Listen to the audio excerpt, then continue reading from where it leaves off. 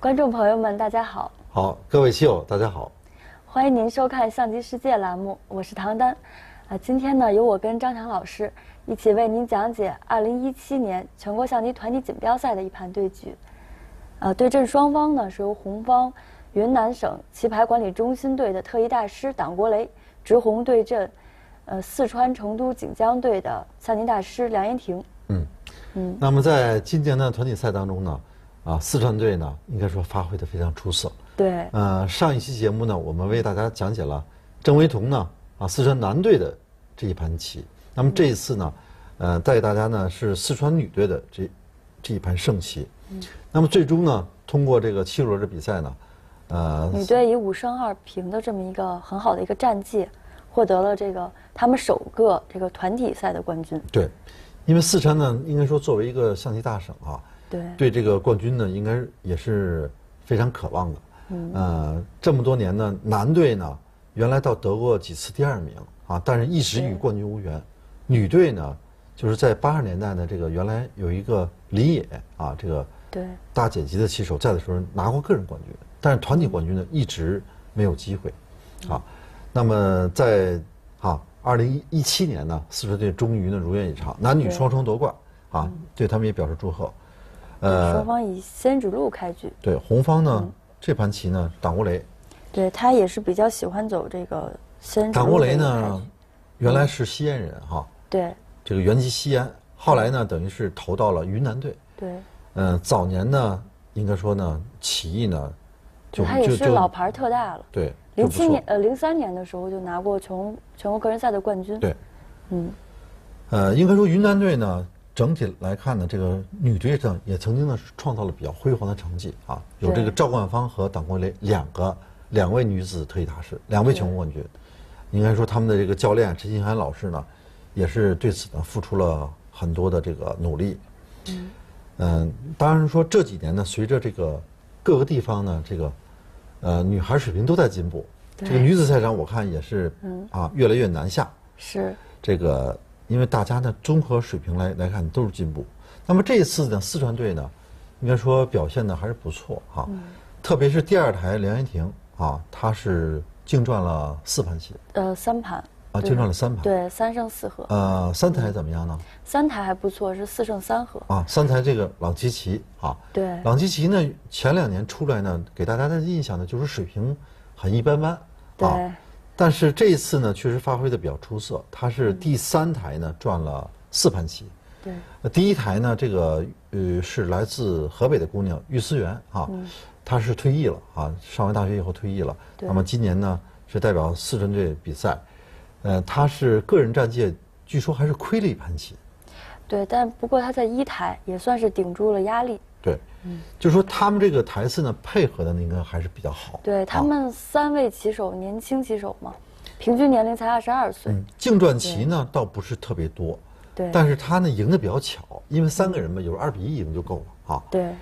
嗯，梁艳婷呢这这两年应该说进步呢还是比较明显，特别是这两年的个人赛和团体赛啊。嗯。呃，党国雷呢，当时呢这盘棋呢是第三轮下的。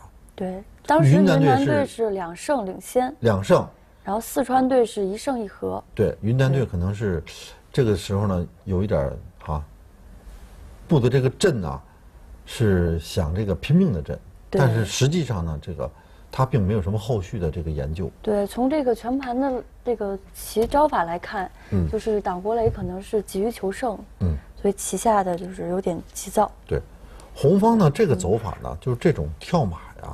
对，这是老谱哈。嗯，当然说现在偶尔也有人走，但是遭到对方这个充足反击呢，反正在男子的高手当中呢，出现的频率还是很低的，偶尔出现一盘。对，大概看那个先指路对足底炮，大概一百盘棋谱也就出现一盘，也最多这个概率。对，所以说，毕竟呢，还是给黑方呢明显的这个反击机会。黑方应该说呢，从就学而论。还是比较满意的哈。对。等于红方放了黑方这个卒过河啊。然后黑方马二进一。嗯。这个阵型呢，我记得在九十年代初呢，啊，或者九十年代中期有那么两年挺流行。嗯。后来感觉黑方的反击能力比较强，对。后来也就没有，哈，更多的棋手愿意尝试这个棋。黑方这马一进三跳出来也很快，这个呢，跳边马飞左象呢，应该说都是一种比较协调的这个走法。对。最早的棋手都是象三进五，马二进四。啊，这样就是有这个，哎，这个局面下有这个思路，这个棋呢也可以，对，啊，但是这个象七进五跟马二进一呢，应该说呢，就是说它的弹性呢更强。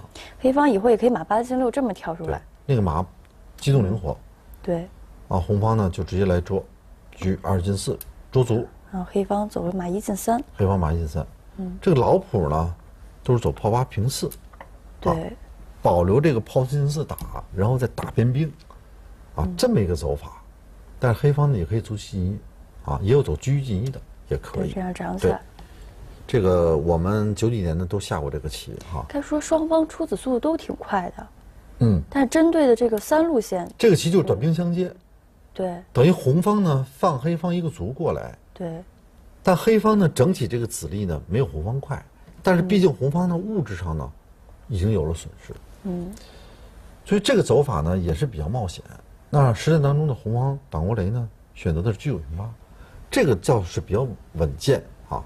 嗯，黑方车一级，这个地方你看黑方这两个弹子炮都比较结实，你暂时打不动它。所以红方呢，他是选了一个飞象，来看一下黑方这个态度，你这个卒到底怎么走？黑方呢也没有轻易去走，因为你卒三平二啊，你容易被他追逐对，啊，这被他利用啊，将来你要下卒，他有可能马九进八，借力使力，这个子力就窜出来了。那这个一个卒走的步数太多了，也不太合对适，。所以黑方呢，也是平衡呢还掌握的比较好。对他走这个车一平四，所以下象棋呢，就是我们为什么说这个有时候少年儿童朋友呢，嗯，啊，这个小学生呢多练练这个有好处呢。对他经常会取舍，就是明明呢我这是一物质力量，但是我就放弃了。那为什么呢？我为了要这个速度，啊，我为了来弥补上我整体速度偏慢的这么一个特点，对，来把时间追回来。所以说呢，这个下棋象棋呢，经常是啊，啊，有时候是因势利导啊，对这个弃子，而且特别是对于少年朋友们什么好处呢？因为他直观的目的是攻王攻帅，他的目标比较明确，啊，对不像有的棋种呢，他比较模糊啊。攻王攻帅呢，目标明确以后呢，你容易制定出核心思想，你要围绕着这个主帅，哈、来作战。一个是他的安全，再一个怎么攻对方的这个主帅主将。对所以说，这个象棋呢，还是之所以能够成为这个上千年的这个传统文化，啊，它这个历史严格没有怎么变，从北宋末年到现在，那其他棋种都没法跟我们比。对，北宋末年你像围棋定型啊，现在的规则也就是两百年，甚至不到，啊，虽然说是我们这个祖先发明的，但是跟现在的围棋差太远了。我们现在用的都是日本规则啊，主要是日本人这个发扬光大的。国际象棋也是，这个卒啊到底线冲变但，是文艺复兴时期啊也有一个大的改革，对，所以说也就两百年。现在它的这种下法也也就两百年，所以说这个象棋呢，呃，应该说还是比较有这个啊厚度的。时间上来看呢，一千年呢左右呢没有怎么变化，没有任何的变化，就是兵和卒的称谓有点变，嗯，就是加了红兵，原来都是双方都是卒，哦都但兵卒卒是一样的。嗯，所以说呢，这个规则跟子力都没有改变。是的，嗯。这个时候红方也是挺难取舍的，红方走了一个炮八平七啊，对。他这招棋呢还是可以的啊，嗯，就说比较稳妥。如果直接飞的呢，红方似乎有一些不肯。觉得子力太慢了，对，这样呢，平炮打一下马呢，对黑方呢形成一个直观的威胁，看看黑方怎么应。当时我第一想法正好，这不正好平卒吗？把红方这个八路车给盖上，然后但是这个棋它最主要是没有后续，对。就是对方可以接受你换掉，啊，嗯。红方一个是兵九进一，再一个人就补个士，对。啊，就是黑方呢这个整体的这个动作呢会稍慢一点哈、嗯，当然这个甚至可能马九进八跳出去，是不是也有可能？对，红方还有这个手段。对，所以这这个他这个兵也是没有办法去保住。嗯，就说如果保足的话，因小失大。对，他实战是选择了马三进四。嗯，以往有对车的走法。对，这样对车。嗯。因为黑方的思路呢，就是说，你既然红方的车呢这么好，老攻着我这个卒。对。我索性呢，通过逼对，你对我就把你蹬掉。这样把自己这个三路线给打开，这个局面。这个棋呢，黑方也可以获得呢不错的这个阵型。所以说，红方这个布局呢，嗯，他构思呢不太明确。就是红方，你既然你走这个布局，那你这里边有没有什么新的研究？那你还在重复前任走法的时候呢，你就容易找不到啊好的这个途径。可能就是就是三路线还得看这个有没有一些进攻的一个方向。因为这个梁彦廷呢，毕竟呢这个啊他在专业队里边也好多年了。对，梁梁大师这几年也是非常的用功啊，然后。棋的这个水平呢，也是稳步进取。对，就他在零八年个人赛上获得了这个第十七名的成绩，拿到了这个象棋大师称号以后，然后在去年这个孙湖杯青年赛上也获得了这个女子个人冠军。呃，梁彦廷呢是浙江温州人啊，他是瑞安的。对。这个他呢很早呢就进入了这个四川队啊，但是呢，应该说蛰伏时间也很长了。有这么八九年的时间了，但反而呢，这个这两年呢，倒逐步显示出这个啊厚积薄发的这个劲头，金炮一打，一打换子，嗯，就是黑方的阵型还是走的比较稳正的啊。对，这样红方也只能换炮，然后红方走了一个车八进七，这倒可以，这招是一个先手，他另外他哪怕他进马有蹬的先手，对，他居四平三，他实战是居四平三，嗯，那这样子宝马会不会是有点尴尬？那张老师，您说这个居四进一是不是好一点？是不是怕人家这样？这个倒没没有这个原则性问题。是。因为他居四平三呢，他也很安全，这个阵型。对。啊。当然，这个地方呢，既然走到这儿呢，红方就不如把它飞了算了。直接飞掉。啊。嗯。看来这马的当然，车四进一呢，显得更这个啊周全一点。对。又保马又保炮。不，他实战这个构思也挺好的，就冲锋兵啊。他飞，他可能顾及他马四进六，啊，他这么一将换这个炮，啊，那红方兵五进一这招棋呢，应该说呢也显示出这个啊选手的对这个结构的一种理解。这招棋走的也是不错啊。那黑方马八进六，那红方马三进五，这个马从中路蹬出去，嗯。嗯，啊，应该说呢，这个布局阶段呢，就是红方呢。也没有获得啊，但目前来看呢，这个马蹬出去呢，黑方这个卒必将给它消灭的，而且是先手蹬出去，那么也没有什么损失，所以说这个棋呢，就是整体上来看呢，就是双方呢基本上均势，还是一个互相缠斗的一个局面。对，互相军事。那么黑方接下来走马六进四，黑方也抓紧这个反击的速度，红方马五进七一蹬，啊，然后正好马四进三，对，黑方马四进三等于。双方都获得了一个象尖马，这个就是这样象头马啊，也我们俗称叫象尖马啊，就是啊尖锐的尖，嗯，这样象啊这个高象的这个地方，这个马的好处呢就是攻守兼备。第一个它有象保护啊，它安全。对。另外呢就是说，对方一旦没有阻挡的时候呢，可以直接扑卧槽哈，外马或内马都是可以的。所以这种马呢，它是比较。好使。那走到这儿呢，红方呢，他是走到车八退六啊。对。当时唐丹，你没觉得这招棋怎么样？车八退退四。嗯。守住竹林线。他退这儿呢，就是说，这个车位呢肯定是要高一点。对。啊，但是他没有这个手段了。这个他炮打出来有打这个中中兵的先手，他推这可能就是想将来多一个捉马的这个动作。但是从棋感上来看呢。你既然这个捉马也没什么用的话，就不如退到兵线。这个车位是高的，对啊。这个下象棋呢，还有一个理念，就是子力啊，要尽可能呢处在更加明朗、高的位置。哈，一个是向中心靠拢，再一个就是说高嘛，就是离这个中心区域近。啊，比如这个这个一二三路车都叫低车，凡是巡河、兵线这四条线叫高车啊。对所以车呢，车怕低头，将怕高，因为高车以后呢，可以移动的空间要大，嗯，动作要快。那好，双方可以说开局呢，是走到了一个势均力敌的这个局面，都没有占到便宜。对那么马上就要进入中局的战斗，那么他们中局呢，又是如何下的呢？那好，我们稍后呢，再给大家呢继续讲解。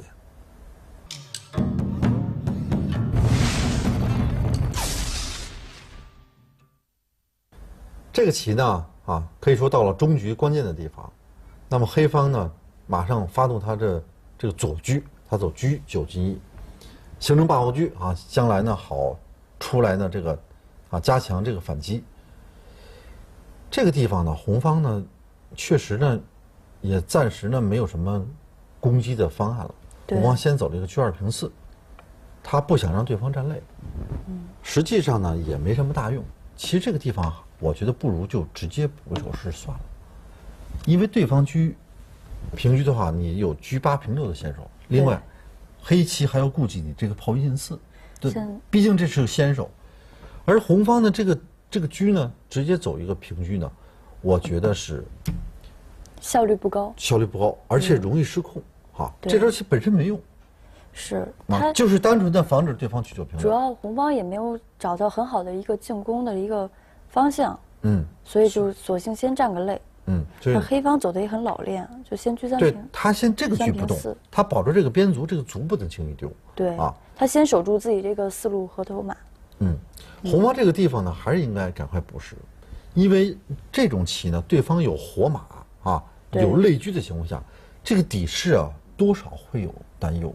所以我们象棋术语当中说什么呢？嗯。叫做啊，居安思危，这个是我们经常用到的词。看起来表面是安全的，嗯，但是呢，将来呢，你阵型上呢，走到单薄的时候，不厚实的时候，对，需要呢要巩固自己的阵型，所以红方应该赶快补一招式，把自己的棋呢补好。所以这会儿我们就看到啊，红方这个居明显在这儿要好，对，将来平车呢，将来啊对，啊，就是说的以后看看时机。对，嗯，这个车的位置更加通畅，那这个车呢就显得有点过低了啊，对，还是应该补一手这个等待战机啊。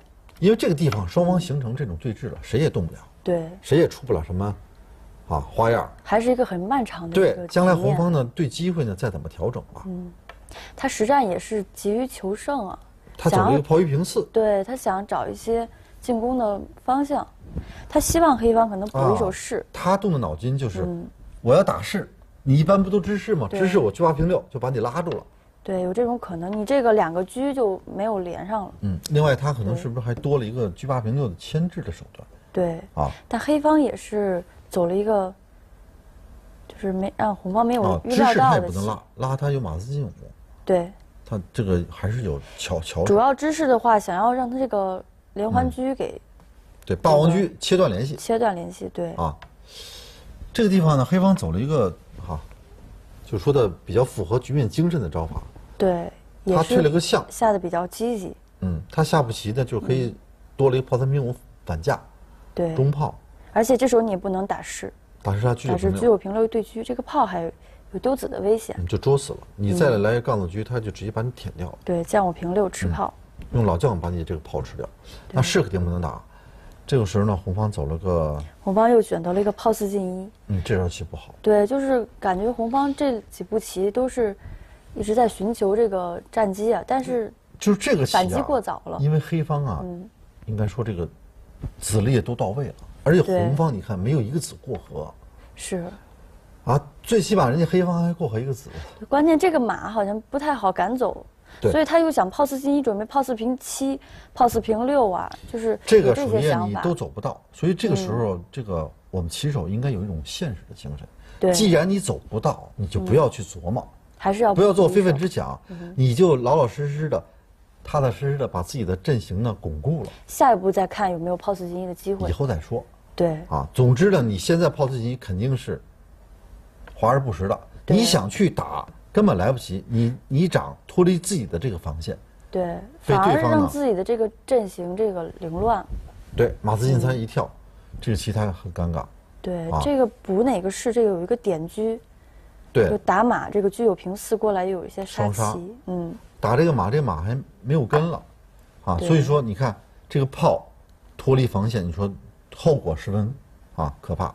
对，他走车八平七，这个棋呢，就是说他是很不情愿的，就是不是正如刚才唐丹给大家说，他正好点车，对，把这两个牵制，还要打这个马，对，你这个马还不好保，你再往回走呢，就太委屈了啊。嗯，所以说红方这个炮四进可谓是本局失败的一个关键啊。对，他走车八平七，表面是一个先手，但对方呢，这个马呢，他也不登兵啊，嗯这梁安婷就走的比较好。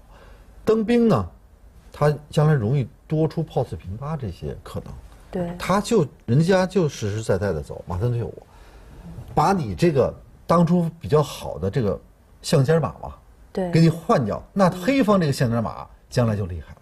对，黑方的你这个个马位置就好大。家明显看啊，就明显上不去嘛，没有合适的地方走，所以这个棋呢走到这儿呢，这红方这七路线反而成了一个问题。对，因为这可能这个棋手有有时候不能太执着啊，你太想赢，然后太想追求变化了，对，因为往往有时候棋手啊，一个是老老牌冠军对新棋手的时候，因为，我要不走出点优势来，不积极点，显得自己好像不是那么啊，主要也是开心，拿个先手棋，他还有一个先手。对太稳了也不甘心。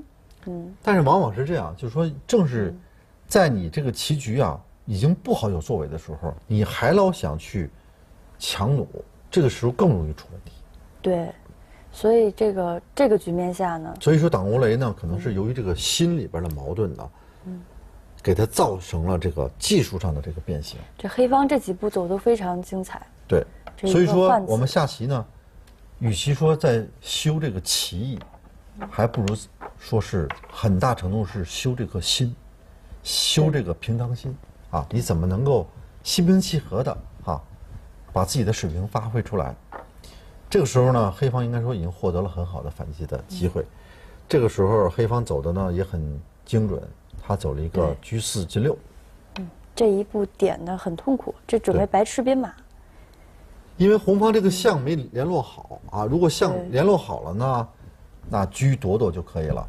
嗯，那现在躲车呢会丢象，车不动呢会丢马，对，而且这个马呢它也没有特别好的地方走，啊，他实战当中呢红方就故意卖个破绽，他走了一个炮四对二，他希望对方吃马，然后红方车七平四，这还有一些反击的啊机会。有一些拼命的机会，但也有可能呢这个黑方也很快进炮一打。对，但黑方呢，看到这个变化呢，并不是呢嗯啊百分之百有有把握，所以黑方呢，他选择车九平四先叫杀。对，走的很老练。这这步棋，红方很显然他不能十六进五，十六进五就白吃了，对因为底下叫将呢，正好是杀棋，对只能十四进五，十四进五，然后正正好车四平七对这么一个调动。这个吃你有没有摆这个棋啊？啊这个吃、这个吃它还是不好哈、对这样子这样子因为这个地方毕竟先把你杀上来，将来红方呢可以实际上，这个车刚才不过来杀棋的时候，这个吃马那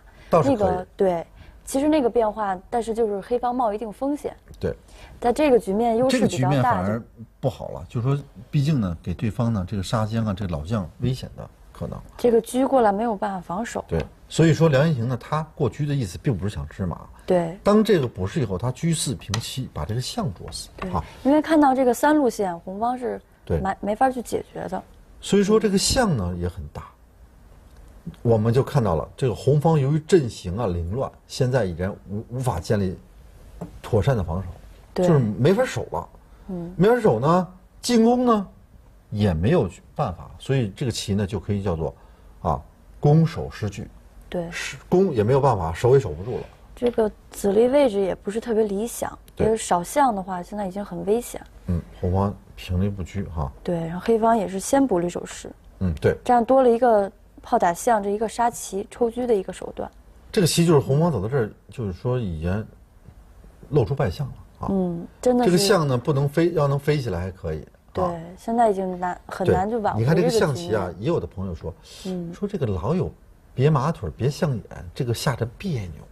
对。啊其实呢，这个啊就是中国我们这祖先啊，老祖宗啊，他创造这个文化，实际就是说，就是让你在前进的路上，就好像我们生活当中，嗯，就不可能一帆风顺，就会有一些啊，这个磕磕绊绊，啊，一些不如人意的地方，就是让你把这些障碍啊，怎么扫清，啊，怎么呢，给对方呢设置这些障碍，而把自己的道路呢畅通啊，这个打仗嘛就是这样，啊，很多这个兵书战战策上，啊，这些典例上也是这样啊。所以说呢，正是由于呢，你要是怎么把这个限制，而不受限制啊，而更获取自由。是。其实你看国际象棋，它那个象道能从头飞到斜着飞，斜啊，对线飞，，从这头飞到那头，嗯，它呢也是就是在功能上的设计。那两个人都能飞那么远，相对来讲，它自由的空间呢也是也就那么几个点啊，也不能到处乱飞。啊。也也是有啊，也并不是说的自由自在的，它也是看起来是比较开放的，而实际上也是玩的谁把谁限制住。好，我们再回到棋盘上来，对方要抛那人打象，那么红方就没有办法的，就把中兵送了，对方车对骑将一砍将，这还只能炮四退一。红方反正落势落势正好有一个局七平六，这个陈家军啊，对你一舔他车四进八，对，红方只能委曲求全退一步炮，那么黑方。黑方很简单的这个卒五进一，对，黑方这个棋呢又多象，又多卒，红方呢如果你回象呢，他退车捉又是先手，对。黑方这个棋呢，确实呢，可以说呢，已经是步入这个盛世了，啊，他走了个回马哈、嗯，然后卒五进一，一拱。还是车四进去一一，捉，象三进一，这个象呢确实也很痛苦，它不好保。对，就是这个七路线，就是自炮四进一走完以后，嗯。七路线这个问题走平车呢，对方可以平卒把你捉死。对，这总之呢，这个棋呢，就是很难守了。还是要丢象，让这吃掉，对，还得车四平七过来，嗯，黑方炮正好炮。三平二，三平二，嗯，因为你进去进一步车呢也没用，对方还可以来对车，对，强行哦呃呃打，他可以炮二退一打他可以打一下，将来再再来卒五平四拱。对。就是这个点你是站不住的，他对。卒五平四拱，因为你马八进六，对方可以硬吃你了啊。，对，所以这个这个闷攻这个没办法解决，对，他就索性就先士五进四，嗯，然后他就炮二退一，打一下，对，黑方入局呢也是非常啊精巧，对很简明，他就直接就跟你来对车，那红方逃不开了，只能对，对，黑方马三进自己蹬，现在这个瞄着是呢，炮二平我也有将他，还得补一手，嗯，他正好再炮二平八，来攻这个空门，准备沉底炮挡不住了，他是吃了。对，吃兵，下底炮，嗯，他又跟了一下，对，这个地方呢打了也很简单，打了马一蹬士两个士都丢了。这，个车马兵，这个赢这个车马光将，嗯，他平一步大胖的也是可以，这个都没有问题。红方拱三兵，那最后一步棋黑方是马马四退六，四退六，对，这还有个马六进七，这个得子右杀就，吃炮。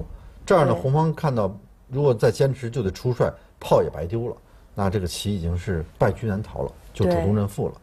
那么这盘棋呢，最主要就是双方呢，嗯布局呢应该说是没有分出优劣伯仲，对，应该说是基本均势。但中局地方呢，由于党国雷呢，就是红方呢，啊，急于去寻找一些战机，把自己的阵型呢一下走凌乱了，而黑方抓住这个战机呢，马四进三以后呢，对，尤其这个车四进六这步，这步点位嗯走得非常常到位，对。啊，给了红方呢这个并不成熟的这种进攻的一个予以准确的打击，最终黑方取得了胜利。对，那么也恭喜四川队呢，在本届当中呢，男女双双获得冠军。